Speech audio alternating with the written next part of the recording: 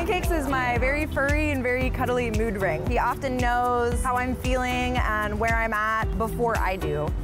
My name is Christina Holt. I am a circus artist and I own a coffee shop in Hilo, Hawaii. I have been doing circus arts since I was a child, maybe nine or 10, and it's always been a part of my life in one way or another. I've been a professional performer since, I don't know, 2010.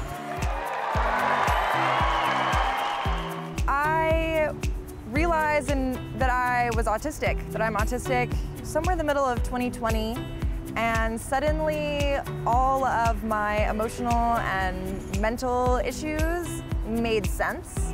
Unfortunately, I was on many different medications to try and stabilize and nothing ever really seemed to work until I received my diagnosis.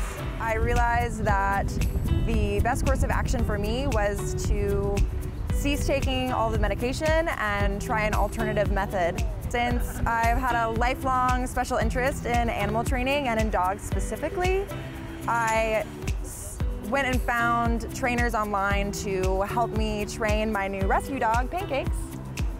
Sit. Great. Of how to assist me with my sensory situations. I adopted Pancakes out of a dog shelter in Alabama. He was about six months old when I got him, and we immediately entered into a two month long, like intensive obedience class. And then after that, we spent several more months working on public access and service dog training tasks. And then, and oh, as, as well as getting all of our paperwork and our vaccine stuff in order to come to Hawaii.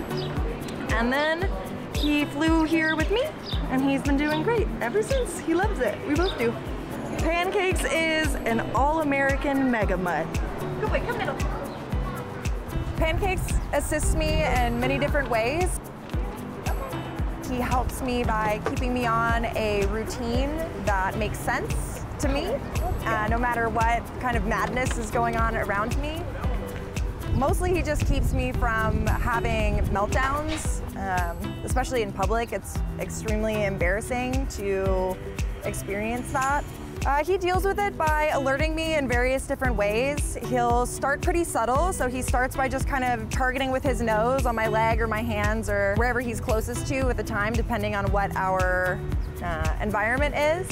And the longer it takes for me to listen to him, the more like large his indicators become, right up to him jumping up and putting his paws on my chest and licking my face. It helps me recenter and rebalance and lets me know that wherever I am and whatever sensory situation I'm in, it's time for me to remove myself from that and to rebalance. My quality of life has improved dramatically since Pancakes came into my life. I imagine our future is going to be very long and very bright. We do everything together. I imagine that we will see a lot of the world together.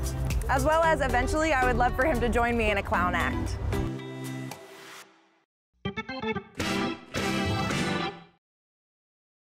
The Pet Hui is brought to you by 808 Raw Pet Food.